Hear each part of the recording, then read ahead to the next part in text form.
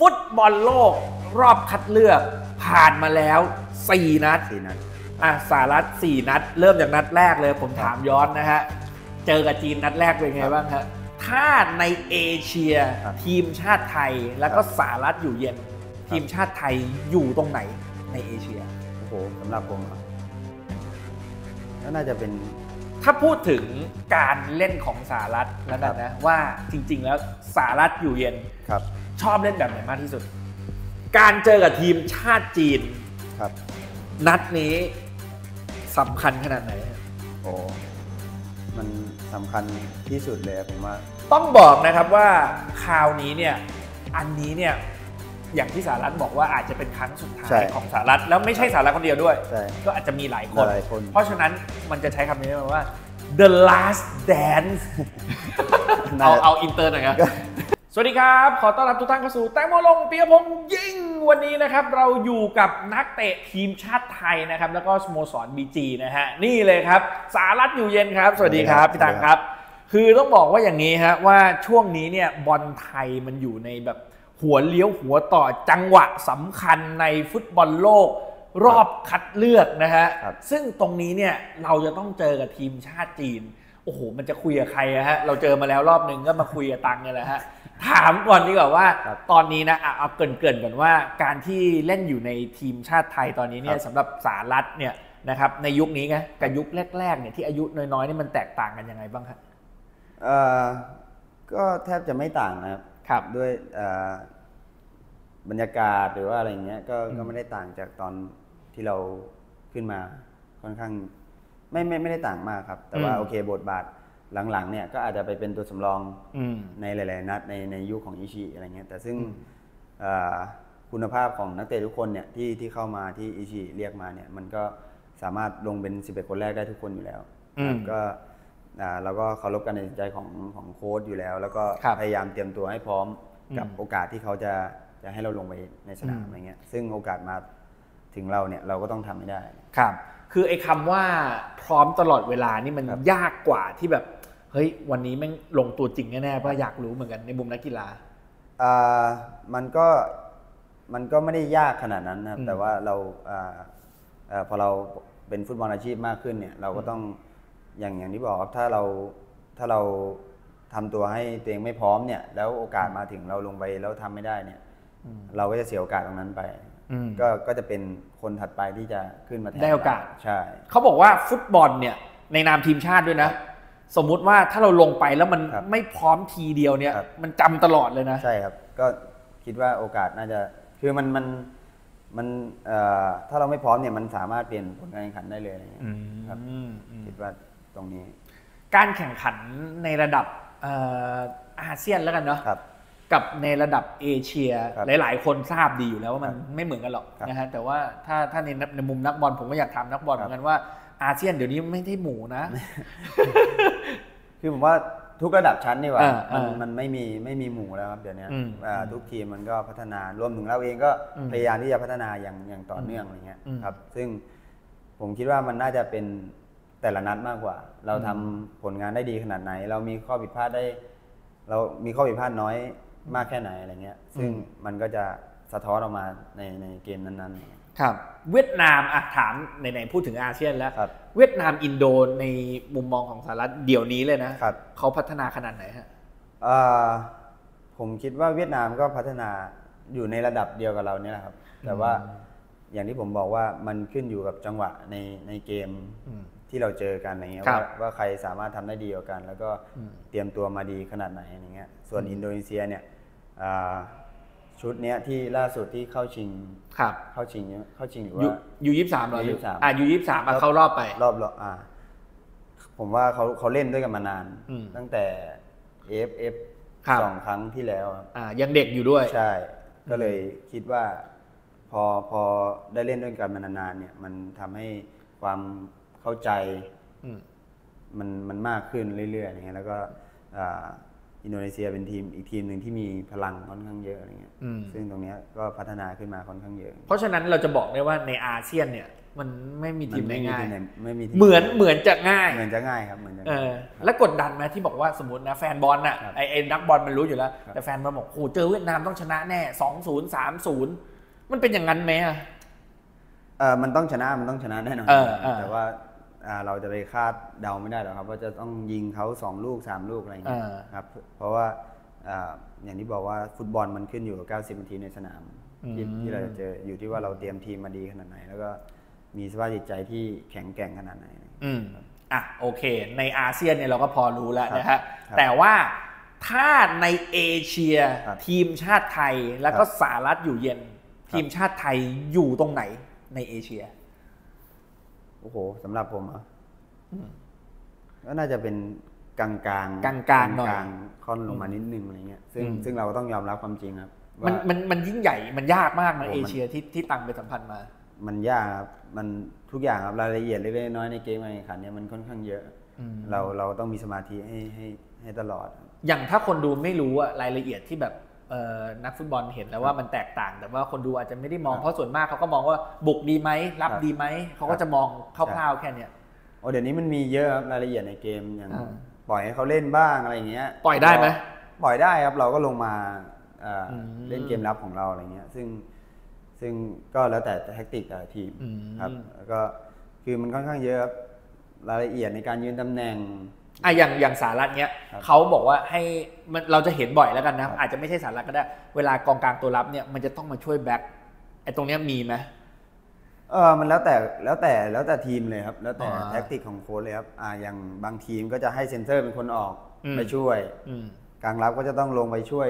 เซน Center เตอร์อีกทีในจังหวะอ่าต่อไปอะไรอย่างเงี้ยมันก็แล้วแต่ครับอืมแล้วก็อยู่ที่ความเข้าใจของของ เพื่อนร่วมทีมด้วยในในอ่าแต่ละคนอะไรเงี้ยสมมติคนนี้ออกคนนี้แทนอะไรเงี้ยครับมันก็มันก็ใช้ความเข้าใจค่อนข้างสูงอะไรเงี้ยอะแล้วถ้าพูดถึงในระดับเอเชียไอ้ไอ้แบบเนี้ยเขาใช้กันทุกทีมไหมก็ใช้ใช้ทุกทีมนะครับใช้ทุกทีมแน่ๆมันใช่ต้องแทนตำแหน่งกันถูกใช่ไหม ในแง่ของแท็กติกเราอาจจะลงรายละเอียดไม่ได้เยอะอะไรเงี้ยอ่า แต่ว่า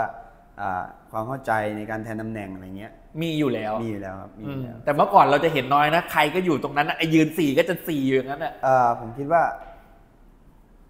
มันมันมันไล่ไม่พร้อมกันมากกว่าอ่าในมันสยคือการไล่ไม่พร้อมกันใช่มันไล่ไม่พร้อมกันมากไอ้แบบนี้นี่มีปัญหาตลอดสำหรับแนวรับบ้านเราเมื่อก่อนใช่ครับซึ่งเดี๋ยวนี้ก็มีบ้างก็ต้องให้ความเป็นธรรมกับกับกองหลังด้วยนะครับเออคือถ้าเกิดไล่ไม่พร้อมกันเนี้ยยังไงหลังก็ตายครับใช่ว้าวุ่นทีเดียวใช่ใช่นะฮะอะ แต่ว่าถ้าถามว่าสารัฐเนี่ยติดทีมชาติไทยมาทุกครับยุคอยู่แล้ว ในโค้ชญี่ปุ่นอากิระนิชิโนะก็ติดอยู่แล้วใช่ครับนะฮะเอ่ออิชิก็ติดอยู่แล้วครับแล้วก็ตอนนี้ก็อยู่กับ BG ใช่ครับก็เป็นมาโกโตะเทกุระโมริครับคือโค้ชญี่ปุ่นตอนนี้กินปลาดิบกินข้าวไม่ได้แล้วอะเพราะว่างั้นเลยกินมิโซะกินเออเนี่ยคือความเป็นญี่ปุ่นมันครับบอกอะไรตังบ้างที่ตังเห็นอ๋ออันดับแรกก็ระเบียบวินัยเลยครับ ดุไหมไอ้คำว่าระเบียบวินัยเขาไม่ดุครับอ๋อไม่ได้ดุไม่ไม่ไม่ดุไม่ดุเลยแต่ว่าคือเหมือนเขาก็แสดงให้เห็นในเรื่องของระเบียบวินัยอะไรเงี้ยแล้วก็ทุกอย่างก็จะเป๊ะหมดทุกอย่างครับอืมเอ่อตารางการซ้อมกินข้าวอะไรอย่างเงี้ยอืมก็จะเป๊ะหมดขึ้นรถบัสอืมใช่ แล้วมันเกี่ยวอะไรกับภาพรวมไหมมันก็สะท้อนไปถึงในสนามครับว่าอืมว่าเราจะมีวินัยได้มากน้อยแค่ไหนอะไรเงี้ย อย่างการเล่นเกมรับในสไตล์ของญี่ปุ่นเขาบอกว่าเคร่งมากอ๋อเข่งอืมก็อย่างอย่างที่ผมบอกครับว่าอ่าพอพอพออิชิเข้ามาเนี่ยอืมเราเราไปเจอระดับเอเชียครับอืมเขาก็จะให้รายละเอียดในเกมรับเนี่ย มาเป็นอันดับแรกอืมทุกคนก็จะต้องปฏิบัติตาม บอลอยู่ตรงนี้ใครจะต้องทำยังไงอืมบอลอยู่โซนนี้ใครจะทำยังไง ซึ่งอืมทุกคนจะมีหน้าที่รับผิดชอบของครับแต่ละคนอืม ซึ่งพอมันเอามารวมกันเนี่ย มันก็เกิดประสิทธิภาพที่ที่ดีขึ้นอะไรเงี้ยอืมครับ แต่ว่าโอเคในยุคของมาโน่ก็จะเป็นเพชรแดนบนอะไรพวกเนี้ยอ่ามันมีความอ่มันก็จะแตกต่างกัน แล้วแต่ซึ่งโค้ดอันนี้ใช่แท็กติกแล้วแต่ของโค้โค้ดดเลยครับ ซึ่งซึ่งอ่าเรามาเปรียบเทียบกันไม่ได้อยู่แล้วอ่าครับ แต่ว่าใครจะใช้แท็กติกของตัวเองเกิดประสิทธิภาพมากแค่ไหนเนี่ย มันขึ้นอยู่กับในสนามเนี่ยอืมและถามอันนี้นิดนึงหลาย ๆ คนบอกว่า แต่ผมมาเป็นหนึ่งคนนะที่ว่าผมเห็นการซ้อมของนักบอลไง ครับคือมันฟิตจนไม่รู้จะฟิตยังไง แล้วแต่ว่าบางทีอะครับมันเกี่ยวกับเวลาเราเล่นอะมันท้ายๆเกมอะเราก็เจอมันคั่วตลอดครับเลยมันมันเกิดจากสาเหตุอะไรเนี่ยตรงเนี้ยอืมเพราะเราก็เห็นซ้อมครับวิ่งกันจะตายอยู่แล้วอะครับใช่หรือว่ามันคือการแบ่งซ้อมแบ่งการอาจจะใช้พลังอาจจะวะใช้อาจจะเป็นอย่างนั้นด้วยครับ ในการคือการแบ่งแบ่งใช้พลังงานในสนาม90นาทีเนี่ยอ่าเป็นสิ่งที่นักฟุตบอลไทยต้องพัฒนามากขึ้นอะไรอย่างเงี้ยอืมครับ จังหวะไหนที่ควรใช้พลังเต็มที่ จังหวะไหนที่ควรที่จะดึงเกมอะไรเงี้ยอืมเป็นสิ่งที่ที่ที่พวกเราต้องพัฒนาอะไรเงี้ยอืมครับอะมาพูดถึงเกมการแข่งขันดีกว่านะฮะครับฟุตบอลโลกรอบคัดเลือกผ่านมาแล้ว4นัดสี่นัดอะสหรัฐ4นัด เริ่มจากนัดแรกเลย ผมถามย้อนนะฮะ เจอกับจีนนัดแรกเป็นไงครับบ้างฮะก็อ่า ก็ดีใจนะครับที่ที่สามารถทำประตูได้แล้วก็ แล้วก็รู้สึกผิดหวังกับตัวเองเหมือนกันที่ที่มีส่วนทำให้ทีมเสียประตูอะไรเงี้ยอืมทั้งสองอารมณ์มันก็อยู่ในเกมเดียวกันอืมอืมไอจังหวะพูดถึงจังหวะที่ยิงได้ดีกว่าครับจังหวะที่ยิงจีนได้อะคือผมเห็นบอลมันกระดอนขึ้นมา ตรงนั้นเนี่ย มันมันเราตั้งใจให้มันขึ้นมาไหมไม่ได้ตั้งใจครับอ๋อคือเราไม่ได้ตั้งใจใช่คือเหมือนบอลเนี่ยมันเด้งเด้งเด้งเด้งพอดีเออออะไรเงี้ยแล้วเราก็กะจะเฟิร์สทัชให้มันดีๆครับเออแต่พอเผอิญใช่พอมันเด้งขึ้นมาเราก็ต้องแก้ไขสถานการณ์กะโอ้โหแล้วคราวนี้การบอลเล่ดีเต็มข้อเลยใช่โอ้โหการดีโอ้โหครับและเกมแรกมันผมรู้สึกว่ามันมีความแบบโอ้โหมีความแบบเออประมาทนิดนึงไหมเราอะเพราะเราเล่นผมดีผมผมคิดว่าเราก่อนไม่ได้ประมาทเออแต่ว่าเรามั่นใจเกินไป อ๋อเหรอ มั่นใจเกินไป ซึ่งมันเป็นดาบสังคมครับอืมพอเรามั่นใจเกินไปเราก็บุกบุกบุกบุกอย่างเดียวครับ อืมซึ่งทุกอย่างเรารีบทำไปหมดเลยอะไรเงี้ย อืมันก็กลายเป็นกลับมาหาเราอะไรเงี้ย อืม ผมคิดว่าน่าจะเป็นจุดนี้มากกว่าอะไรเงี้ย เกมเจอกับจีนเกมแรกเล่นในบ้านถือว่าครับ ยากไหมที่ผ่านมา เอ่อสำหรับผมอะผมคิดว่าไม่ยาก อืม ไม่ยากเกินเกินความสามารถของพวกเราอืม แต่ว่าเราอย่างที่ผมบอกว่าผิดพลาดเอง ผิดพลาดเองใช่อืมเรารีบเกินเราเร่งตัวเอง เราพยายามที่จะทำไม่ได้ พยายามที่จะให้แฟนบอลเอ่อมีความสุขอะไรอย่างเงี้ยไปเร่งไปหน่ใช่อยนะไปเร่งทุกอย่างอืมจนจนมันมันกลับมาหาเราอะไรอย่างเอเงี้ยอเออและเกมถัดไปฮะเจอสิงคโปร์เราก็สามหนึ่งใช่สิงคโปร์ก็เป็นเป็นเกมที่เราต้องมีสมาธิมากขึ้นแล้วแล้วก็เป็นเกมที่เราจะต้องเอาสามคะแนนให้ได้ เพราะว่ามันมีผลต่อการเข้ารอบ ซึ่งมันก็ได้มา ซึ่งมันก็ได้มาใช่เกมเจอกับเกาหลีใต้ครับ เป็นไงบ้างฮะโอ้โหก็เล่นในบ้านเขาคือบรรยากาศมันก็ดีทุกอย่างครับอืมทั้งสภาพอ่าอากาศสนามบรรยากาศกองเชียร์อะไรเงี้ย ซึ่งแล้วก็เป้าหมายของของทีมงานแล้วก็นักฟุตบอลเองเนี่ย คืออยากที่จะทำผลงานให้ออกมาดีที่สุดอยู่แล้ว แล้วก็อ่าถ้ามันมีคะแนนออกมา แล้วเราก็มีคะแนนออกมา มัน มันมันต่อยอดให้เราเพิ่มขึ้นมาอีกในการเข้ารอบอะไรเงี้ยอืมใช่ มันก็ทุกคนก็พยายามที่จะเล่นให้มันออกมาดีที่สุด อิชิอิเขาบอกว่าที่เรามีแต้มกับเกาหลีใต้เนี่ย เป็นเพราะว่าเกมที่เราไปเจอญี่ปุ่นอ่าแล้วก็เลยด้วยทำให้แบบเหมือนแบบเขาได้เห็นได้อะไรอย่างเงี้ยแล้วใช่มาปรับใช้กับทีมตรงเนี้ยรู้ใช่สึกได้ไหมนักบอลรู้รู้รู้สึกได้ครับเพราะว่าเราการที่เจอทีมระดับเดียวกันอ่าแบบเนี้ยอะไรเงี้ยมันสามารถเอามา ดูว่าเราเราผิดพลาดไหนแก้ไขตรงไหนได้บ้างอะไรเงี้ยเราเรามีช่องโจมตีเขาตรงไหนบ้างอะไรเงี้ยสไตล์การเล่นของสองทีมเนี้ยเป็นยังไงในในที่ระดับเดียวกันของเอเชียครับเป็นเป็น top top five ของเอเชียอะไรเงี้ยอืมซึ่งตรงเนี้ยเราก็เอามาปรับใช้แล้วก็มาวางแผนกันว่า ว่าจะลงไปในสนามแล้วเราจะใช้วิธีการแบบไหนอืม และเกมที่เจอกับเกาหลีใต้ฮะก็ถามต่อแล้วกัน อันนี้ขำๆนะครับเฮ้ยบรรยากาศมันเล่นที่นู่นมันเย็นว่าเราวิ่งได้ไม่หมด แล้วมันมาเล่นบ้านเราอะเราร้อนแทนเขาอีกนะตอนแรกทำตอนแรกมันคิดว่าเขาจะร้อนศูกว่าเอเราอใช่เออ มันก็มีส่วนครับมันก็มีส่วนแล้วก็อีกอย่างหนึ่งคือ 11 คนที่ที่เล่นกับเกาหลีนัดแรกครับที่บ้านอ่าเขาใช้แรงไปค่อนข้างเยอะ แต่ฟื้นไงใช่ครับมันมีฟื้นใช้ใช้ใช้แรงไปค่อนข้างเยอะ ซึ่งอ่าซึ่งพอกลับมาเตะเกมที่2ในบ้านเราเนี่ยอ่า ก็ต้องยอมรับว่าเรารีคอ v รี่ไม่ทันจริง ๆ ไอ้คำว่า recovery ไม่ทันของนักกีฬาไทย แต่แต่เขาทันเหมือนกันนะมันอ่าหรือว่ามันเรื่องโอ้โหรายละเอียดมันมันมันโอ้โหมันพี่ดูทีมงาน อันนี้ก็ต้องสะท้อนว่าแบบทีมงานคือมันพร้อมอะเอางี้ใช่ดีกว่าคือมันพร้อมครับทีมงานเขาแทบจะเยอะกว่านักฟุตบอลนะครับอ๋อเหรอใช่ครับมันมันทุกอย่าง อันนี้มันก็ไม่ใช่ข้ออ้างอะไรเงี้ยแต่ว่า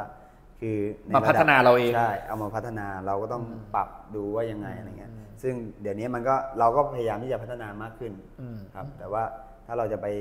แตะแล้วก็เทียบเท่ากับเขาเนี่ยมันก็ต้องเพิ่มขึ้นมาอีกอืมมันก็มีทั้งนอกสนามในสนามใช่ก็อย่างที่ทราบกันดีฮะเอ่อโค้ชฟิตเนสฟิสิโออะไรมาเป็นทีมเลยใช่ครับมาดูแบบแทบจะ2ต่อหนึ่งหนึ่งต่อหนึ่งเลยด้วยใช่ซ้ำเรื่องอาหารการกินอะไรอย่างอืเงี้ยมก็อืมทุกอย่างครับครับ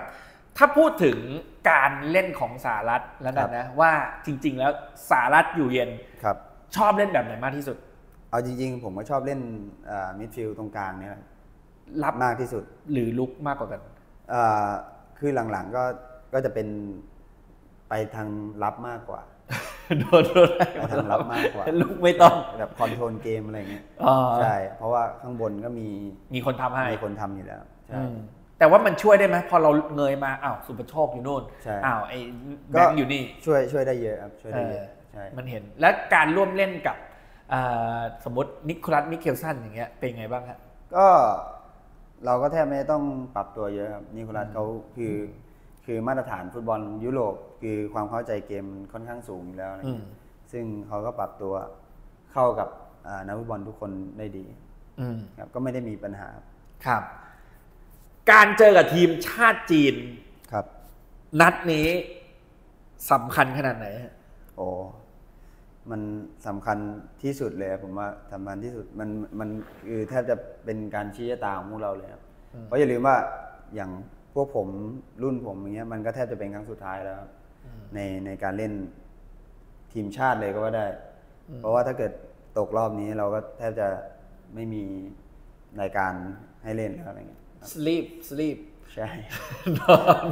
ก็ก็มันน่าจะเป็นแมตช์ชี้ชะตาของของอย่าว่าแต่สารัฐเลย เออผมก็ sleep เหมือนกันน่าจะเป็นก็รอความหวังอะใช่น่าจะเป็นออแมตช์ชี้ชะตาของนักเตะหลายๆคนด้วยครับเออนะฮะใช่เพราะฉะนั้นมันมันมันมันมันสำคัญมันสามารถขยับขยื่นวงการฟุตบอลไทยใช่ใช่ไปในทิศทางที่แบบหัวขึ้นใช่เลยอะเนาะใช่เพราะมันสมมุติถ้าเราเข้ารอบไปเนี่ย เราได้อีกหกสิบสิบแมตช์ใช่ครับ เต็มเต็มสิบแมตช์เต็มใช่เต็มครับอีกหนึ่งปี ใช่ครับ ได้ลุ้นใช่ครับต้องบอกนะครับว่าคราวนี้เนี่ยอันนี้เนี่ยอย่างที่สารัชบอกว่าอาจจะเป็นครั้งสุดท้ายใช่ของสารัชแล้วไม่ใช่สารัชคนเดียวด้วยใช่ก็อาจจะมีหลายคนหลายคน เพราะฉะนั้นมันจะใช้คำนี้ว่า the last dance เอาน่าจะเอาอินเตอร์หน่อยครับก็น่าจะใช้ได้ครับน่าจะใช้ได้ครับก็พวกผมก็ ก็อีเต็กมสี่ที่ปีไม่ไหวเหรอโอ้โห สามสิบเจ็ดแล้วนะอีกสี่ปีอีกสี่ก็ปีนั่นแหละครับยังไงก็เต็มที่ครับพวกเราก็เออออยากให้แฟนบอลมีความสุข แล้วก็เอ่ออยากให้ทีมชาติมันพัฒนาไปใช่ข้างหน้าครับแล้วก็เอ่อเราก็ต้องส่งต่อให้รุ่นหลังที่ครับกำลังขึ้นมาด้วยอะไรเงี้ย ซึ่งมันมีผลทุกอย่างครับทั้งอันดับโลกทั้งอืมอะไรพวกเนี้ยครับมันยิ่งถ้าเกิดเราอันดับโลกต่ำเนี้ยอืมมันก็เป็นภาระของอืมน้องๆอะไรเงี้ยเวลาจับฉลากในรายการใหญ่ๆอย่างเงี้ยมันเสียเปรียบเขาอะไรเงี้ยอืมไม่ใช่ครั้งนี้แล้วจะครั้งไหนครับ ซึ่งจริง ๆ แล้วการเจอจีนอะผมพูดเลย แฟนบอลนะ แฟนบอลเขาบอกมาว่า เจอจีนชนะอยู่แล้ว คือฟุตบอลนะมันออกได้สามหน้าอยู่แล้ว แต่ว่าเป้าหมายของของพวกเรา แล้วก็เอ่อทีมงาน staff โค้ชเนี่ย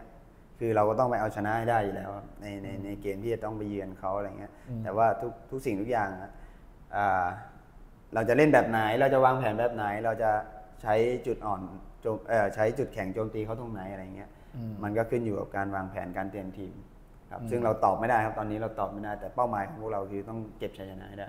อืมนะฮะอะยังไงก็เป็นกำลังใจให้กับเอ่อทีมชาติไทยของเรานะครับ เกมนี้สำคัญสุดๆนะครับอะถ้า